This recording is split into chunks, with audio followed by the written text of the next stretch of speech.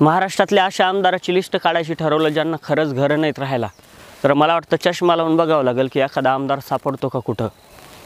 कोट्यावधीची property चार पाच दहा पंधरा बंगले काय कायचे कितीतरी बिझनेस कारखाने काय काय चालू आहे कोणाचं? आणि या सगळ्यांमध्ये खरं तर चांगले संबंध जोपासायचे आहेत. तर याच्यासाठी या आमदार लोकांना म्हणजे आमदार असताना आणि आमदार झाल्याच्यानंतर एक हक्काचं चांगलं घर मिळावं याच्यासाठी एक घोषणा झाली. आणि साहेबांना ती घोषणा केली की बाबा प्रत्येक आमदाराला घर आता मिळेल. कारण की खरंच उघड्यावरती आलेले आहेत हे लोक आणि जनतेची सेवा करता करता म्हणजे यांनी सगळं त्यागून दिले काहीच ठेवलेलं नाही जवळ. त्याच्यामुळं मग यांची चिंता कोण करणार? तर यांची चिंता करण्यासाठी मग आता खरं तर सरकार उभं राहिले आणि सरकार म्हणतं आहे की या जनतेची सेवा करता करता सगळं नागडं उघडं झालेल्या या लोकांसाठी खरं तर चांगले घरं दिले पाहिजेत. आणि त्याच्यासाठी हा निर्णय घेतला गेला साहेब कधीतरी आमच्या खेडेगावाकडे या. खेडेगावात आल्यानंतर शेतकऱ्याचं म्हणजे सगळ्या जगाला अन्न पोचणारा आणि सगळ्या जगाला अन्न देणारा आमचा शेतकरी त्या शेतकऱ्याच्या घरातली चूल कधी कधी पेटत नाही. आणि त्याच्या घराची अवस्था बघू नका कधी. इतकी दयनीय अवस्था की वावरातल्या ज्या तुराट्या आहेत ना तुरीचं उरलेलं झाड तर त्या तुरीच्या उरलेल्या तुराट्या त्या तुराट्याचं त्यानं कूड बांधलेलं आहे. आणि घराच्या म्हणजे ज्याच्या भिंती या तुराट्यापासून तयार झालेल्या आहेत चारही बाजूला या तुराट्याचा त्यानं कूड घेतलेला आहे. आणि त्याच्यामध्ये राहतोय तुमच्या शेतकरी देशाचा राजा.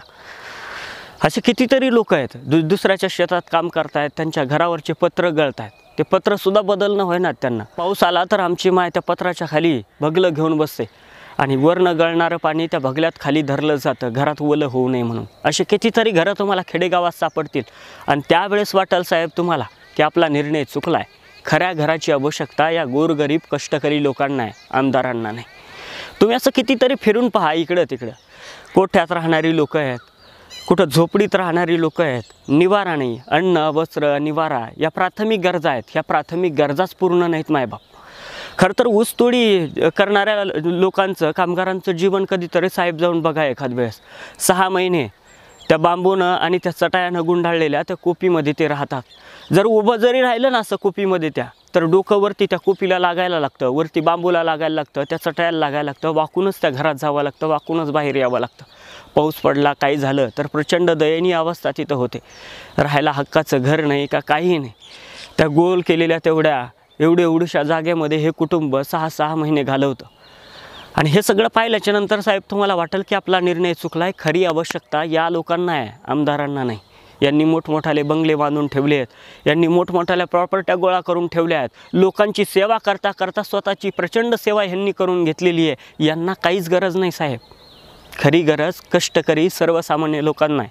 त्यांच्यासाठी काहीतरी करता आलं तर बघा. जन्माची राख झाली र इस कटलेली दिशाही. धुरामंदी वाट गेली र